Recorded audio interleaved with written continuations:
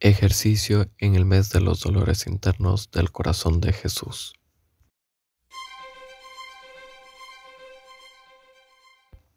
Jesús predijo que Pedro lo negaría, él que había dicho que moriría incluso si era necesario, pero en el momento de la desgracia flaquea y lo abandona.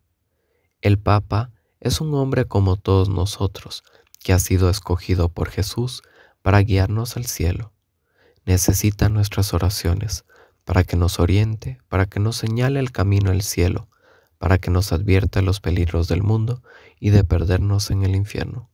Pero Él también necesita que oremos con insistencia para que frente al peligro no le vuelva a pasar aquel episodio donde Cristo se le presenta y le dice que va a ir a Roma para ser crucificado por segunda vez.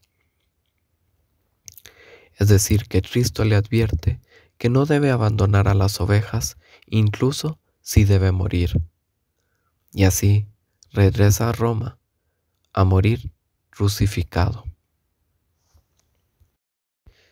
Señor Jesucristo, que eres Rey de Reyes y Señor de Señores, ante vos vengo a ofrecerte este pequeño homenaje para honrar tu sagrado corazón, que por causa mía sufre diez internos dolores.